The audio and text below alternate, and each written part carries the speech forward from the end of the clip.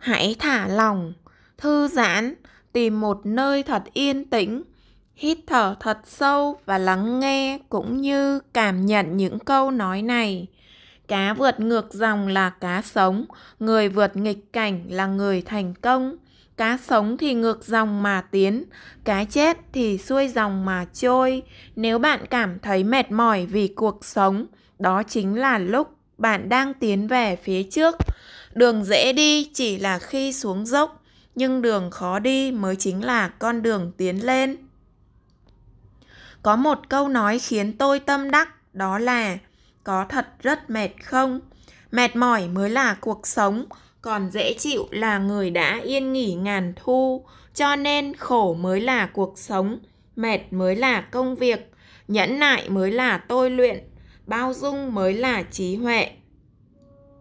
Xả mới là đắc được, làm mới là đầy đủ. Chuyện kể rằng trước đây có một người thợ mộc, một hôm ông cưa khúc gỗ ra và đóng thành ba chiếc thùng.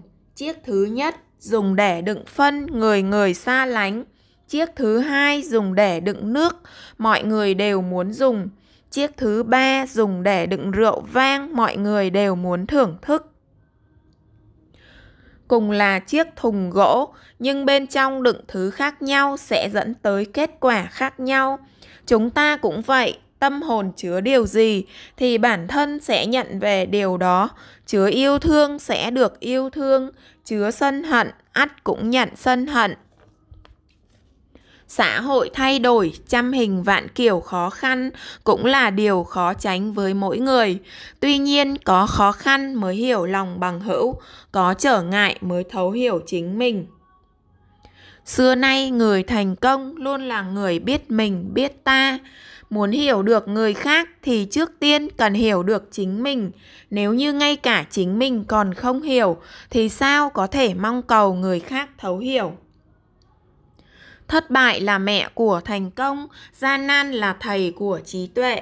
Khi đối diện với khó khăn cũng chính là lúc giáp mặt với cơ hội.